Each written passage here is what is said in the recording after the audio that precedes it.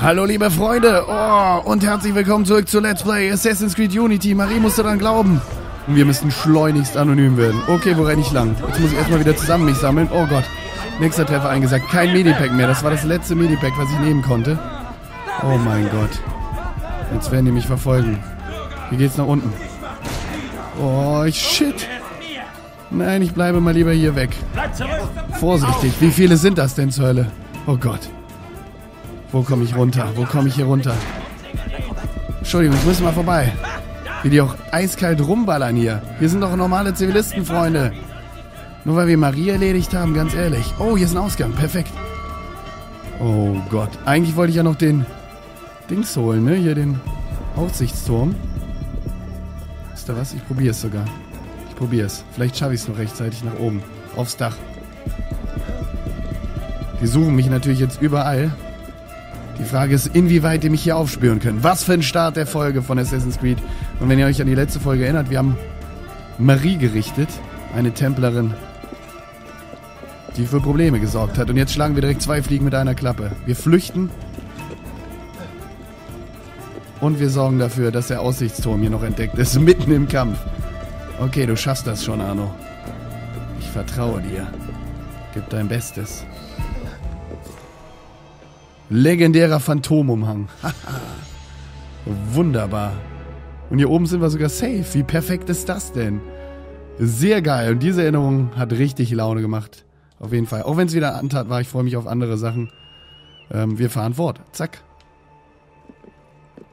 So, einmal runtergedroppt. Okay. Einmal synchronisieren, bitte. Ich musste die Mission auch nochmal neu spielen übrigens.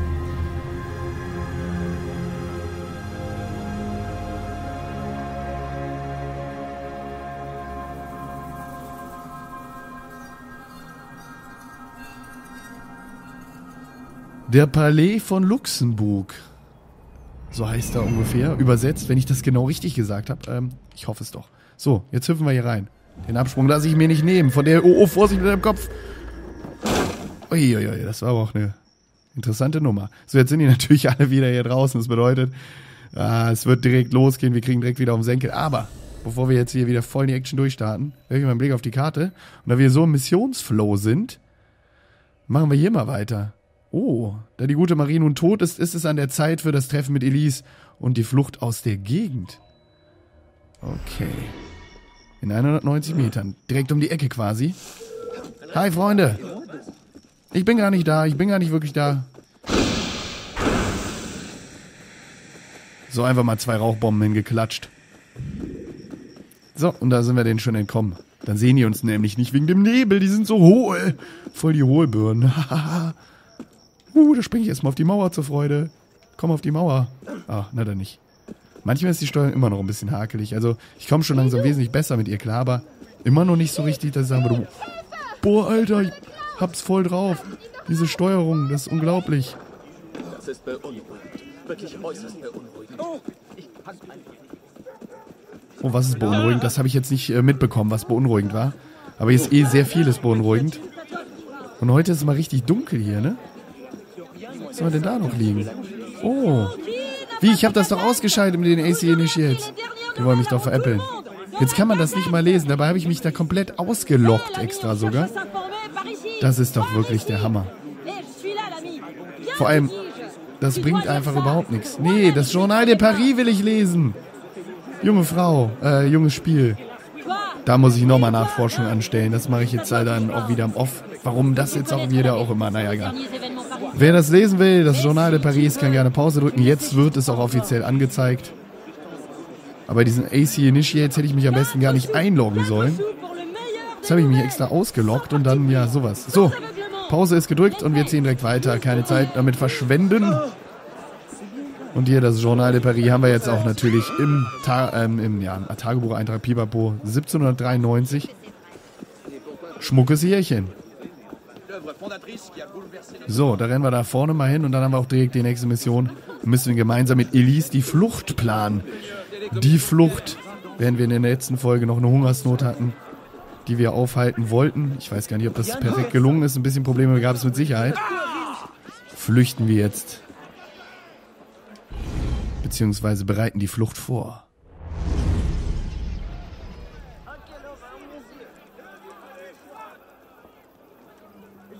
Bitte was? Keine Zeit für Erklärung. Renn! Oh oh, das geht ja schon gut los mit einer richtigen Flucht. Passt.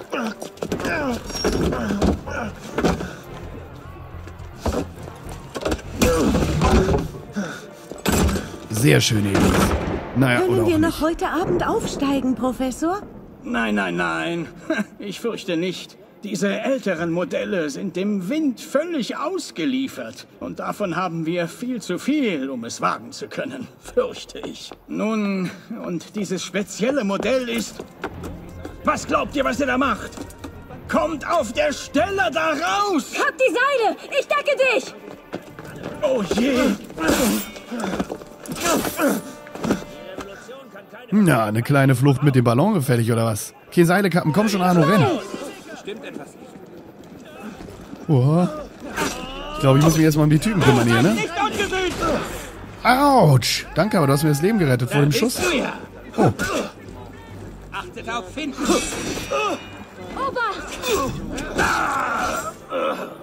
Okay. So, jetzt mal in Ruhe das Seil kappen hier. Ah, einmal interagieren, bitte. Zack. Das hätten wir auch einfach mit dem Schwert zu zerschlagen können, eigentlich. Na gut. Jetzt müssen wir doch eigentlich gar nicht mehr abhauen. Oh doch, wir müssen abhauen. Da kommen die Nächsten. Ich glaube, Elisa hat ein paar Freunde mitgebracht. Ne? Alter, ich hab doch geblockt, ich hab doch pariert. Okay, jetzt soll ich erstmal hier. Oh! Ihr kriegt mich niemals, ihr Würmer. Oh, fuck. Zu spät? Oh, da waren sie aber trotzdem alle draufgegangen. Also alles gut. So, keine Zeit zum Plündern jetzt. Da kommen nämlich direkt die Nächsten. So, jetzt schnell hier. Krieg den Ball Ballon. Ich komm zu dir. Warte Alter. da. Ich gehe sicher nicht weg! Was zur Hölle? Mit dem Ballon vom Mongol 4 Schritt halten. Ja, der Erfinder der Ballons. Es ist wirklich schön hier oben. Das Warte. solltest du sehen. Ach du Oh, was du Scheiße. nicht sagst. Der Wind wird stärker. Beeil dich! Wir sind dem Wind völlig Ja, ausgeliefert, hat der danke. Monsieur Mongol 4 ja noch gesagt. Komm schnell hier rüber. Oh Hast Gott, du jetzt dir ist... schon überlegt, wie du wieder runterkommst? Oh, nach unten geht es meist von allein. Über den Dir werden bald die Dächer ausgehen. Ich hoffe, du hast einen Plan. Zählen, zusehen und lachen, wenn du in den Fluss abstürzt auch. Oh Backe, also so einen richtigen Plan habe ich noch nicht. Oh Gott, schon! Blitz und Donner. Wir verlieren sie! Das fehlt jetzt gerade noch. Und auch noch weitere Gäste. Komm, auf den können wir jetzt nicht setzen. Ich schaff das hier. Lauf du weiter. Stopp sie! Halte dieses Ding auf! Du! Boah. Jungs, das ist recht übel gerade. Jungs und Mädels natürlich. Oh, danke. Danke, Elise. So, irgendwie auf den Dächern bleiben. Wir sollen ja angeblich nicht den Boden berühren und Schritt halten. Also bisher sind wir doch eigentlich ganz gut. Beim Schritt halten. Könntest du die Frauen bitte in Ruhe lassen? Zack, noch schnell unterwegs einen weggeschnitzt. Das ist vielleicht ein Fehler, wenn ich das mache. Oh Gott, lass die Finger von diesem blöden Schornstein. Oh mein Gott. Arno, du machst mich noch fertig. Du bringst mich noch ins Grab. Okay, wo geht's hier rein? Nein. Da muss ich hier rüber. Ach du meine Güte. Scheiße, ist verdammt schnell gerade der Ballon. Ich muss dranbleiben. Ich komme, Elis. Sehr schön. Ah, sie kann sich selber helfen. Gott, wie bleibe ich denn jetzt hier? Und schwuppdiwupps. Wir berühren den Boden nicht. Aber sie fliegt genau in die falsche Richtung. Verdammte Axt. Was ist passiert? Das Seil hat sich verfangen. Du da! Halt! Halt dich gut fest. Komm da runter! Okay. Wir haben das abgeschlossen. Oh, nicht den Boden berühren. Das wurde doch gerade abgeschlossen. Toll, jetzt bin ich extra. Jetzt geh hoch. Alter, Arno, mach mir jetzt nicht kirre hier. Völlig super Kameraführung gerade. Er hängt fest. Ich bin ja schon unterwegs. Jetzt habe ich extra wegen dir den Boden berührt. So, dann können wir uns doch eigentlich an dem Haken auch festhalten, oder? Kann doch nicht sein, dass wir es jetzt kappen müssen. Sie kommen. So, bleib dran. Genau, Arno, so habe ich mir das vorgestellt. Sehr geil. Super cool. Arno!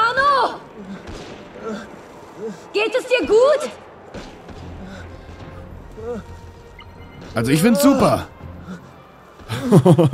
Arno nicht so. Oh. Autsch. Nein. Arno! Alles gut!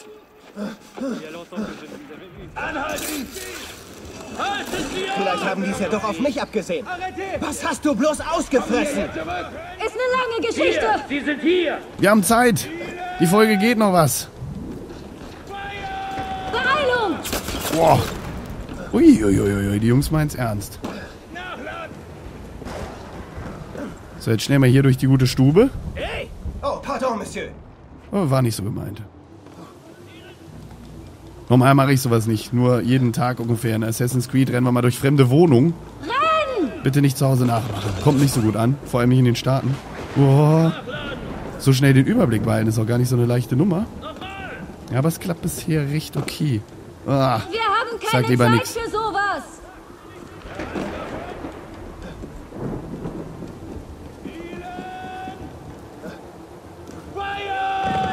oh, Backe. Alter Schwede, was hier einschlägt.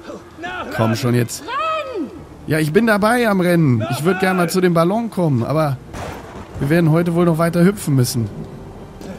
Das Spiel lässt uns keine Wahl. Ich würde sogar mit dem Ballon rumfliegen jetzt über Paris. Das sieht bestimmt voll super aus.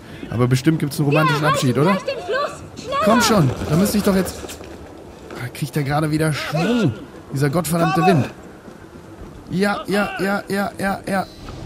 Oh yeah, der gefällt mir. Sehr schön, Arno. Klasse. Nächstes Mal plane ich den Fluchtweg.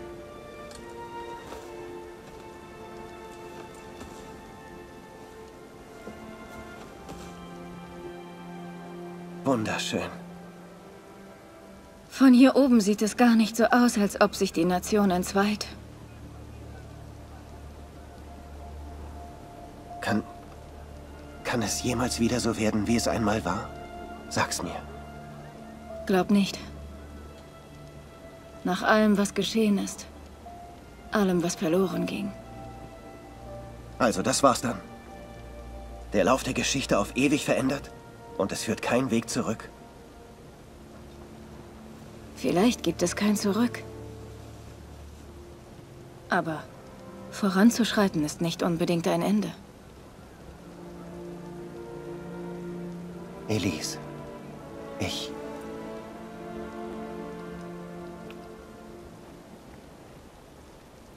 Hast geschummelt. Du warst zu langsam. Ich liebe dich.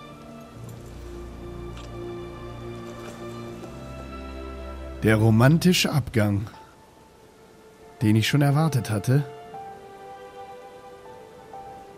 Voll cool gemacht. Super coole Mission mit dem Luftballon. Vor allem ist das, glaube ich, auch der Ballon von Montgolfier. Wenn ich das richtig sehe.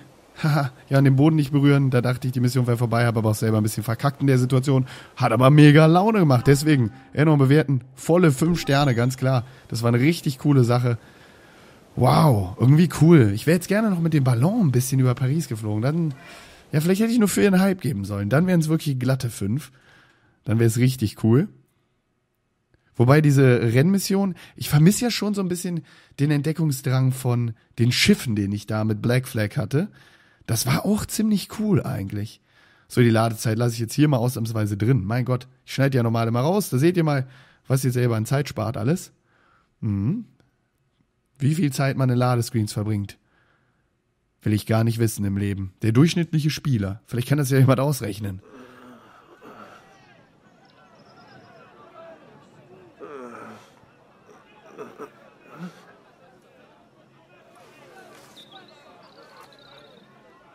Ich musste los. Du sahst so friedlich aus, ich wollte dich nicht aufwecken. Je t'aime. Eh.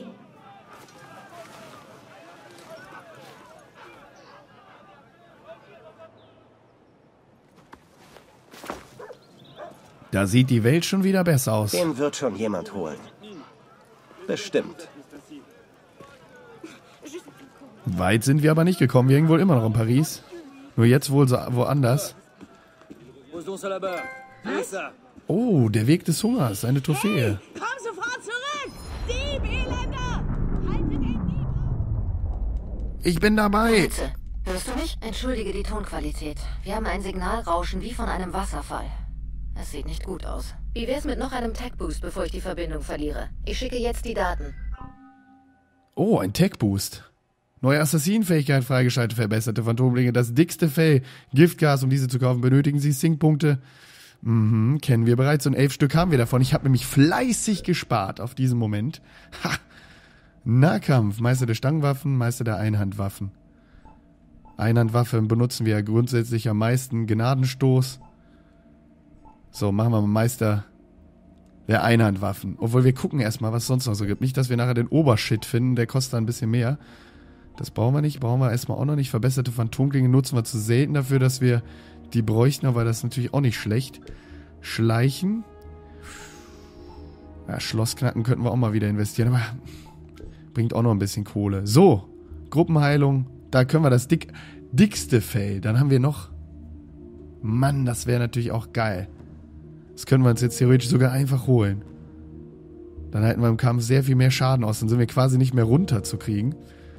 Wenn wir das dickste Fell haben. Und dann das allerdickste Fell, oder was? Eisenfell. Oh Gott. Zwölf Punkte. Dickeres Fell.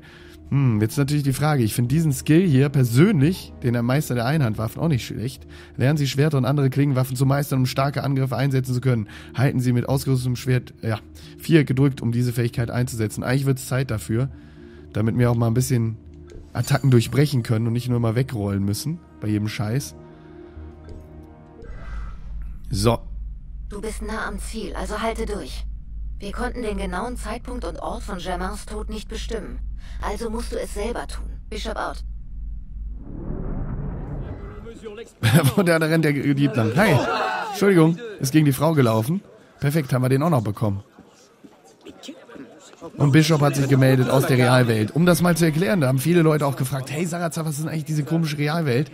Es sind ja auch viele neue Zuschauer dazugekommen, die vorher noch gar kein Assassin's Creed oder irgendwas ja, gespielt haben. Und deswegen muss man das vielleicht auch mal erklären, ganz kurz. Also wir befinden uns hier nicht wirklich in der Zeit um die französische Revolution, sondern eigentlich in den Gedanken, kann man so sagen, beziehungsweise über die DNA, in den Erinnerungen eines Charakters, in diesem Fall dem guten Arno, den wir ja über ein Gerät steuern können. Ich glaube, so kann man es vereinfacht sagen. Und in Wirklichkeit hängen wir natürlich in der Realität. Also wie jetzt auch wirklich. Es ist im Prinzip ein bisschen Inception-mäßig, weil wir spielen ja ein Spiel im Spiel im Spiel, beziehungsweise eine Erinnerung in der Erinnerung in der Erinnerung, obwohl es gar keine echte Erinnerung ist. Mann, Mann, Mann, da wird es ja richtig kompliziert. So, schauen wir mal eben auf die Map, bevor ich hier irgendwie rumgeister nachher noch. Vorne wäre das gute Café, da können wir mal einen kleinen Abstecher hinmachen. Waren wir länger nicht mehr. Das gute alte Café. Das ist schon auch ein echt schönes Etablissement. Mittlerweile haben wir das ja auch ordentlich aufgepimpt. Das könnten wir natürlich noch mehr aufpimpen. Nett hier, ne? Nett hier. So, spazieren wir mal rein. Gestern Nacht sah ich Madame Gouze und Monsieur Grisier. Tatsächlich. Und wobei hast du sie gesehen? Keine Ahnung. Sie waren um Mitternacht bei der hinteren Mauer und flüsterten. Monsieur schien verzweifelt. Er sprach über Nonnen und dass es bald keine Klöster mehr geben wird. Und was hattest du um Mitternacht da draußen zu suchen? Nichts, nur äh, frische Luft schnappen. Sicherlich. Sicherlich, da erfahren wir auch immer wieder neue Schlafen. Geschichten. Wir könnten mal wieder renovieren. Was können wir denn machen? Erdgeschoss? Aha, aha. 5000, das ist natürlich auch echt ein Wort. Obere Stockwerke. Ah, nee, das war die. Da warte ich erstmal noch ab. Das ist mir noch zu teuer. Aber wir haben ja bald auch alles hier. Es sind nur noch zwei Verschönerungen, die wir machen müssen. Aber es wurde auch oft in die Kommentare geschrieben, hey, Sarazar, max das Ding aus, du kriegst nachher richtig fett Kohle. Muss da nicht mehr jede blöde Leiche plündern, was ich ja ohnehin nicht mehr mache. Aber das war mir dann auch ein bisschen zu haarig, ganz ehrlich. Guten Tag, junge Frau. Bonjour. Ich hoffe, Bonjour. es geht euch gut. Das haben wir uns auch noch gar nicht mitgenommen hier, die. Geheimtür in der Küche. Da haben wir völlig was hier das Ding vergessen. Ich möchte, dass du auf den Markt gehst und Gemüse für den Sonntagseintopf kaufst. Oui, Madame. Hier sind 20 Livres. Das sollte mehr als genug sein. Na, dann zieh mal los. Und wir verabschieden uns an dieser Stelle mit einem Adios, amigos oder Adieu, Monsieur. Um es in den Worten dieser Pariser Gesellschaft zu sagen. Bis dahin, liebe Freunde, ich hoffe, euch hat's gefallen. Und ich werde mich nochmal an diese AC Initiates wenden und probieren, das irgendwie auszuschalten. Wir sehen uns wieder in der nächsten Episode. Bis dahin, ciao.